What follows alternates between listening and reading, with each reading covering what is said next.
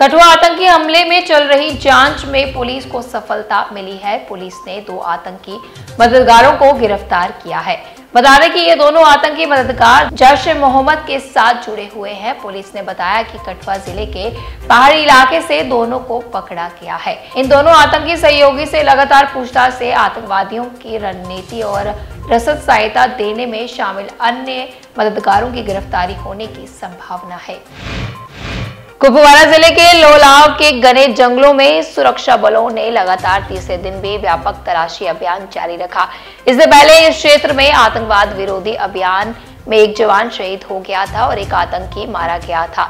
तब से लेकर अब तक सुरक्षा बल अलर्ट पर है और आतंकियों की तलाश में लगातार तलाशी अभियान चलाया जा रहा है।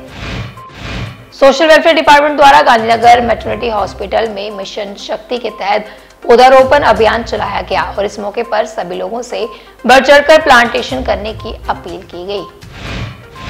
कारगिल विजय दिवस पर बीजेपी के वरिष्ठ नेता और पूर्व एमएलसी विक्रम रंधावा ने शहीदों को याद कर श्रद्धांजलि अर्पित की। उन्होंने कहा कि शहीदों को कभी नहीं बुलाया जा सकता। इस मौके पर उन्होंने पाकिस्तान पर भी निशाना साधा और पाकिस्तान के खिलाफ कार्रवाई की मांग की। अपने जनसंपर्क अभियान को जारी रखते हुए आज भाजपा कार्यालय में जनता दरबार का आयोजन किया गया। इस मौके पर बीजेपी के नेताओं ने लोगों की समस्याओं को सुना और उन्हें हल करने का आश्वासन दिया। Jammu Kashmir medical employment federation द्वारा अपनी लंबित मांगों को लेकर पत्रकार वार्ता का आयोजन किया गया। इस दौरान डीपीसी सहित अन्य मुद्दों को उजागर किया गया और जल्द से जल्द सभी मांगों को पूरा करने की अपील की गई। कश्मीर मैराथन के लिए मंच तैयार, पर्यटन और स्थानीय आजीविका को मिलेगा बढ़ावा।